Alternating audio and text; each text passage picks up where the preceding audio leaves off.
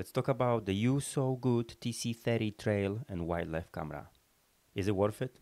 Let's find out.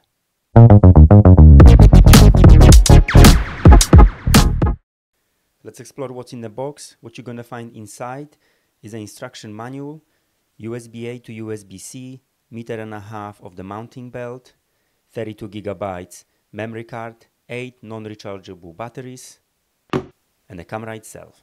The camera itself is very well built.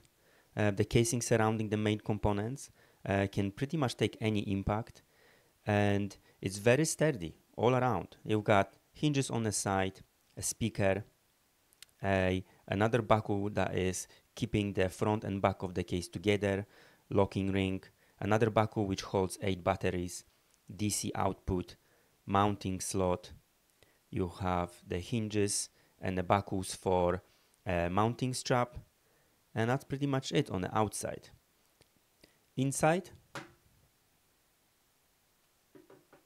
we have the IR sensors, a main CMOS camera, 36 megapixel 4K, uh, 30 frames per second, uh, 2 inches screen, a bunch of buttons to uh, navigate throughout the menu and setting it up, uh, test button so you can test something before you actually let the camera go and start recording, and uh, locking system and so on. And then we have the PRR, uh, PIR um, sensors as well that measure the light and the distance and the changes to to environment.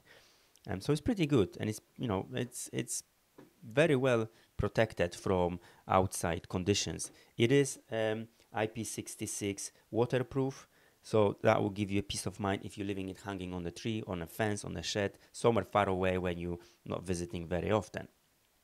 Now, I've been using this camera for, uh, for quite a long time.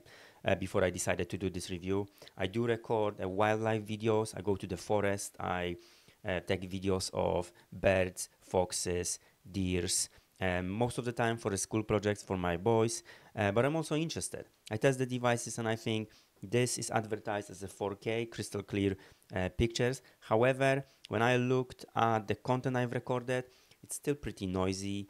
Um, if there is too much light or you're facing the camera towards the light, it's definitely gonna be showing you more um, um, granular picture and you can see the quality isn't perfect. However, I mean, for the price that it comes from UsoGood I think it's pretty pretty good deal. If someone takes it away, you know, you don't have to be worried that you spend hundreds of pounds and now the camera is missing and so on. Unfortunately, it doesn't have a GPS location or a Wi-Fi that you can connect to an app just to see uh, instantly in a real time whether something has been recorded, whether someone is tampering with the camera. But it's still really good device, and it's very sturdy. And it's I've been leaving it in a in a, a very rainy conditions, very windy conditions, attached to a tree branch, tree stem itself, um, leaving it low to the ground, very near the animals. Um, I even had the footage where some of the animals, foxes, were poking with the camera.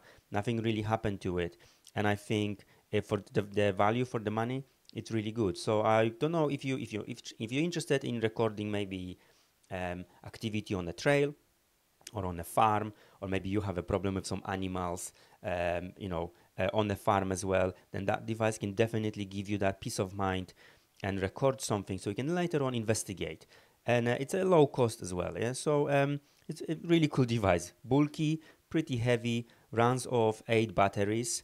Um, I've used it for a week without changing a battery and it lasted perfectly fine. You just need to make sure that the memory card that you're using can take amount of storage unless you're overlapping your uh, last videos. But you know, if you're investigating something, you probably want to have a continuous videos recordings just to see what when has happened so you can take an action. But yeah, it's really good, very sturdy, taking all the weather conditions, and I've been very happy with it, and it worked perfectly fine. So let me know what you think. See you later, guys.